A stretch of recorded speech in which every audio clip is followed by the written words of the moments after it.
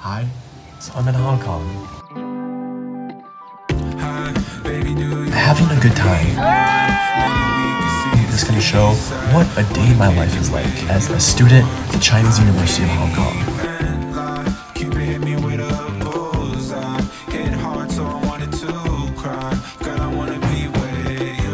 Okay, this might be the most crazy thing about living in Hong Kong. Walk outside my room. Wait a minute, wait a minute. I was born in a place called Wisconsin. It's known for cheese and beer. But now I'm in a place that's known for skyscrapers and dim sum. Very different. But what else is different? In this video, I'll show you a few differences I've noticed between life in these two amazing places. The first difference I noticed is walk outside my room.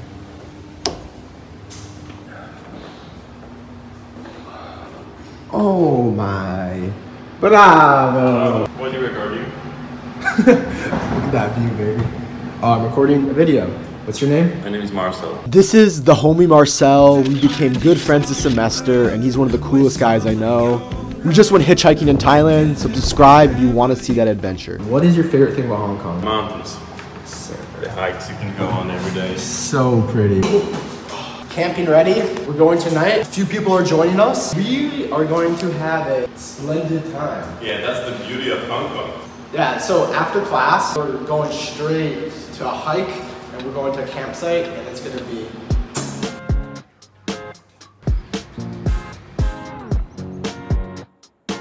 Okay, so I'm walking to class and how would I explain Hong Kong to someone who's never been in their life? Okay, so here's how I'd explain it. It's the skyscrapers of New York City, it's the greenery and flora of Hawaii, and then it's the mountains, but at sometimes more jagged than the Appalachian Mountains. This place is absolutely gorgeous. Noodles. Dairy.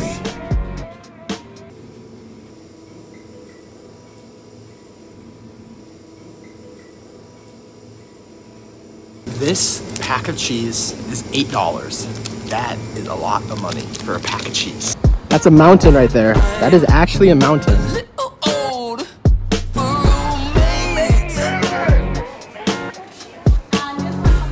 Shake, shake.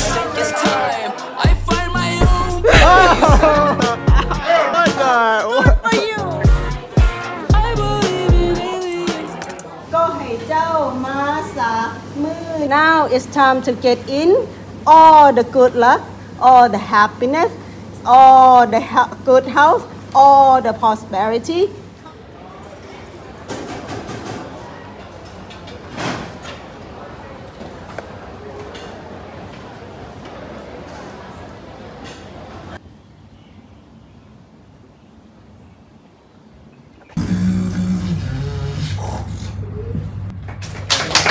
Buffalo Beatbox is a beatbox organization based in Hong Kong.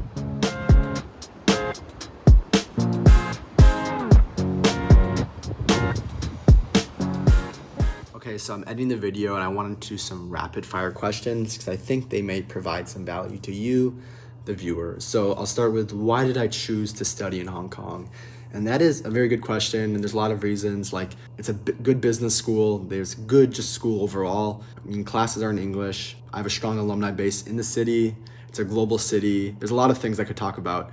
But the biggest reason for me was that I felt like it allowed for me to write my own story, to tell my own story, and do something that's a little bit different. And for me, that was a differentiating factor. Second question is Is Hong Kong safe?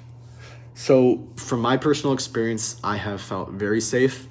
For example, walking at night with my headphones on downtown, I have never really felt like I need to like look around my back. So from my personal experience, I felt safe, but others may differ from that. How have I liked classes and professors?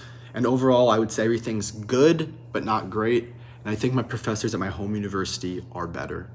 Next, have I made friends? Yes, I think I've made a handful of people that I'll stay in touch with for the rest of my life. Have my chopstick skills improved? And I think they have. I think I probably went from bronze FIFA card to maybe like top like upper tier bronze. So I'm like like I was started at like a 62 and now I'm like a 69 or 7. Do people speak English in Hong Kong? And my answer to that would be depends. The younger they are, the more likely they are to speak English. So under 25 is a good chance that they have some English skills. but once you talk to older people, there's a good chance that they probably just speak Cantonese. And then the last question is Would I want to live here after graduation?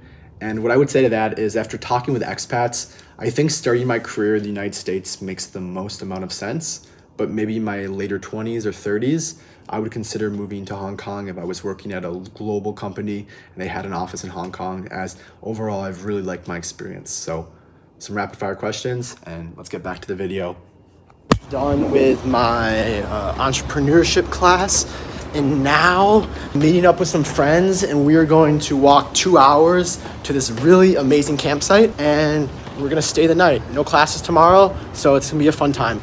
One of the coolest things about this university is that we have an amazing train system connected basically at the base of the university. So it's really easy access to get downtown Hong Kong and it really makes travel around the city quite, quite amazing. Okay, this is fascinating. The restaurant that's right behind us is right near our university and it's right by the metro station. And I'd always wondered why university students don't go to this restaurant because it's quite nice. And I recently found out it is because the owners of this restaurant, during the protest in 2019, they had said some basically remarks that in support of China. And so now, since then, it seems as if the students have had done some sort of boycott against the restaurant. Super fascinating. So that's why you don't really see many Chinese University of Hong Kong students at this restaurant.